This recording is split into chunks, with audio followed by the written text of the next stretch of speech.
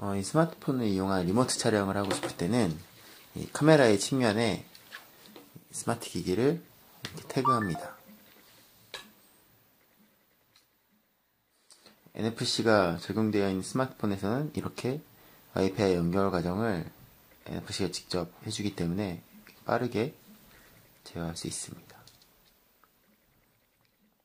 다른 카메라 조작은 할 수 없고 스마트폰에서 줌만 조작할 수 있습니다.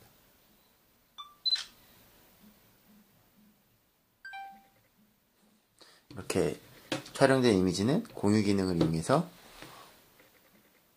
메일이라든지 카카오톡, 페이스북에 업로드할 수 있습니다.